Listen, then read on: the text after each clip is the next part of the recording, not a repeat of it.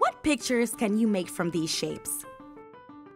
When you move these shapes around and change the colors, do they mean different things? There are many artists in Alabama that use shapes and colors to make all kinds of interesting art, including a group of women from the area of Gee's Bend, Alabama, who use them to decorate quilts. Their use of squares and rectangles was so inspiring that they can be seen in the designs used to decorate the dress that former First Lady Michelle Obama wore in her official portrait. How did the art from Gee's Bend end up on Michelle Obama's dress?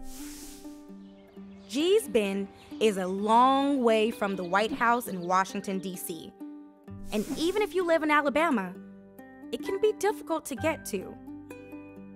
It is in a big curve or bend in the Alabama River and there is only one road you can take to get there. But if you need to cross the river to get to Gee's Bend, then you have to take a ferry. Imagine that.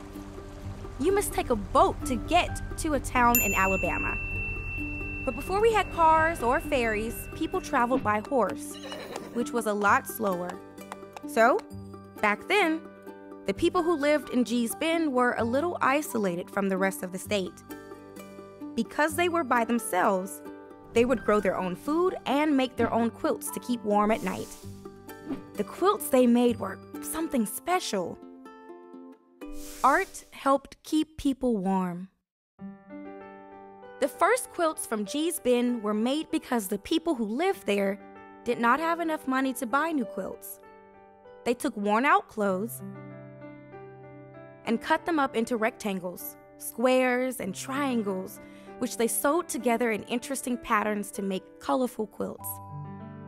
The old clothes became new quilts. Have you ever thought that you could make a work of art from an old pair of pants? The quilters of Gee's Bend learned this from their parents, who learned from their parent, who learned it from their parents. Going back over 100 years to a time when many of the people in Gee's Bend or enslaved. This is in an area of Alabama where the soil is so rich and dark that it is called the Black Belt. The dark, black soil was good for growing crops like cotton. And 100 years ago, much of Gee's Bend was the Petway Plantation. The enslaved people that worked on the plantation had very little and learned to make quilts from old clothes because they had little else to make them from. They were so creative with their quilts. One creative pattern was a group of triangles in the shape of a star. Stories from the time of slavery say that this was a reminder of how to find the North Star, which would point them to freedom. The quilts could do more than keep them warm. The quilts tell stories of Gee's Bend. When slavery ended, many people that worked on the Petway plantation stayed in Bend. They continued to make quilts that use patterns of squares, rectangles, and triangles to make abstract pictures of things around them. Abstract means that the picture doesn't look exactly like what it is supposed to be, but makes you think about it. Many quilters in Gee's Bend use this abstract pattern what does it make you think of? It is called rooftop because it has the same pattern as a roof.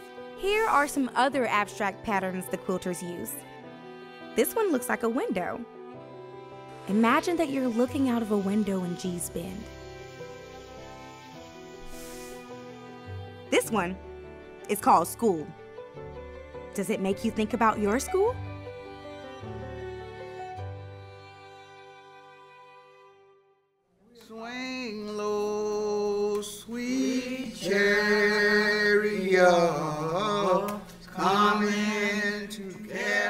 The quilters think about many things when they arrange their shapes into patterns. They pray and sing church hymns while quilting to help them think and be creative.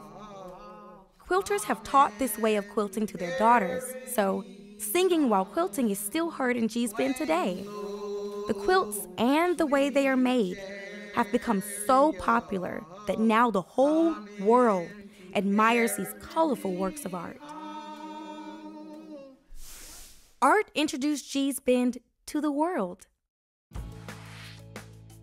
Back in 1966, 60 quilters from across Alabama's Black Belt, including Gee's Bend, wanted to use their quilts to make money to help support themselves and their community. They worked together and formed the Freedom Quilting Bee. This was called a cooperative because all of the quilters shared in both the work and the money that was made. They were so successful that eventually people all over the United States began to buy their quilts. People wanted them because they were both warm and colorful artworks. The abstract patterns of Gee's Bend made people around the world think of all kinds of interesting things. Some people even think that the patterns in the quilts are similar to paintings done by a famous Dutch artist named Piet Mondrian. Do you think they are similar? The quilts and quilters of Gee's Bend have become famous worldwide. They have used old clothes cut into squares, rectangles, and triangles to show what beautiful things are in Alabama's Black Belt. Starting with next to nothing, they have given the world something beautiful. And that is why Michelle Obama was proud to wear bold patterns like the one seen in Gee's Bend's quilts on her dress in her official portrait as First Lady of the United States of America.